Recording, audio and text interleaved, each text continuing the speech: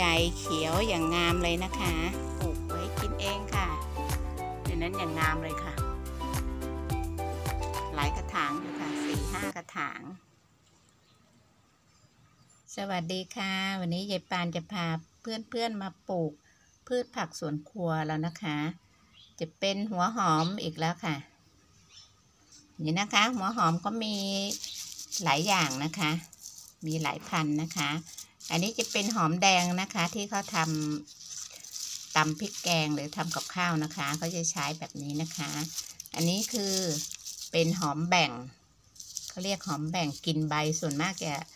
จะทานใบเยอะจะใช้หอมแดงกลิ่นเขาจะมีกลิ่นหอมฉุน เป็นหอมแขกค่ะ อันนี้ก็ปลูกได้เหมือนกันนะคะ อันนี้รากเขางอกแล้วก็ยัดเอามาลงกระถาง ใช้กินได้หมดอะค่ะ ทั้งหัวทั้งใบนะคะ แต่วันนี้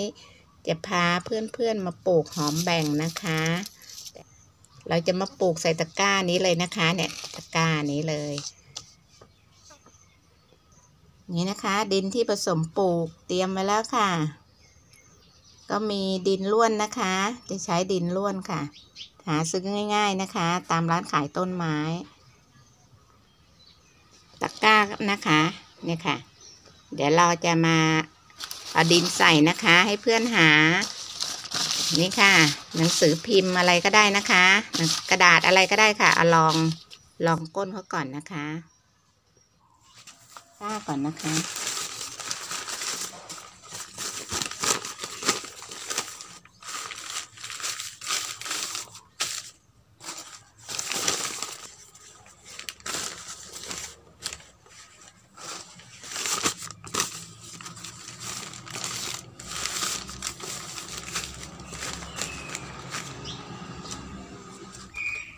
เดี๋ยวเราจะมาเอาดินใส่เลยนะคะ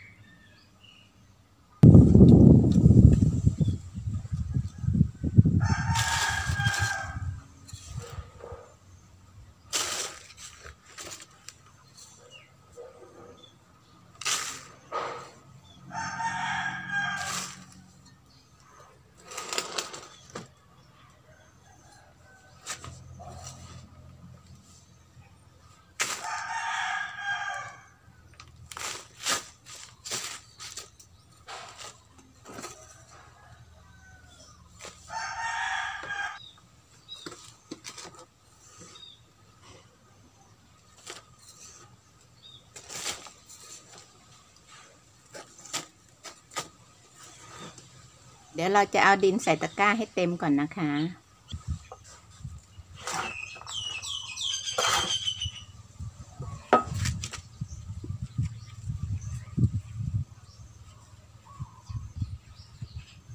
หอมนะคะปลูกง่ายๆค่ะ ควรมีควรปลูกไว้นะคะ เล็กๆน้อยๆมีพื้นที่เล็กๆอะค่ะ ใส่ตะกร้าอย่างนี้เราก็เก็บกินได้นะคะ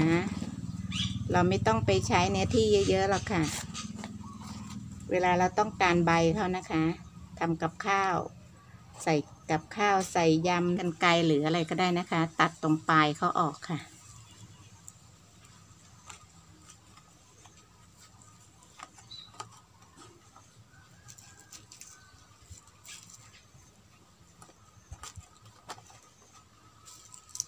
เสียบไปเลยนะคะ การระยะห่างเขาหน่อยค่ะ เราปลูกกินเองเราไม่ได้ไปปลูกขายนะคะ ถ้าคนปลูกขายเขาก็จะให้ห่างเยอะๆหน่อยหัวเขาจะใหญ่ นี้เราจะเอาไว้ทำกับข้าวเราในบ้านนะคะก็จะขึ้นง่ายมากเลย ผักชี หัวหอมนะคะ ควรปลูกไว้เลยค่ะ ปลูกง่าย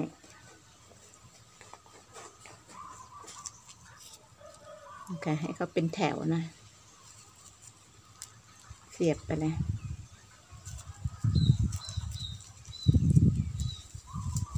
เราแยกเขาได้นะคะ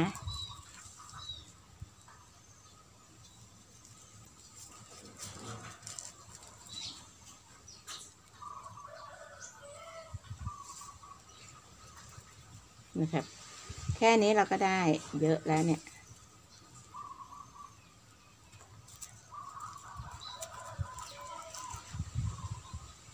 ใช้ดินกลบเดี๋ยวเราใช้น้ำลดเขาก็โผล่ละตรงนี้นะคะ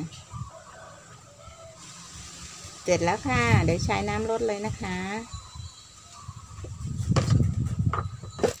ใช้น้ำลดเลยค่ะ แค่นี้เราก็ได้ต้นหอมไว้กินแล้วนะคะ เดี๋ยวเราก็จะมาปลูกหอม หอมแขกนะคะ เนี่ยนะคะ หอมแขกเราก็จะปลูกใส่ตะกร้าเล็ก ๆ อย่างนี้นะคะ ที่เราไม่ใช้ด่าตะกร้าที่เราซื้อมานี้เป็นตะกร้าขนมจีน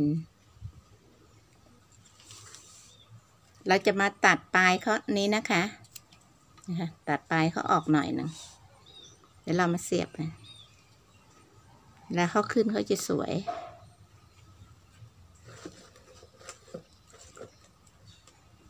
น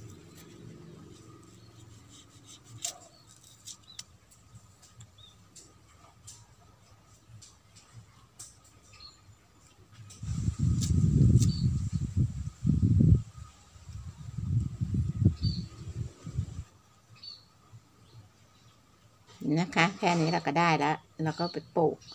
ให้เขาห่างหน่อยค่ะแขกนะเอทั้งหอมแบ่งทั้งหอมแขกนะคะ ใช้น้ำรดให้ชุ่มเลยนะคะ สวัสดีค่ะ ถ้าเพื่อนๆชอบ อย่าลืมกดไลค์ กดแชร์ กดซับสไคร b ์ด้วยนะคะ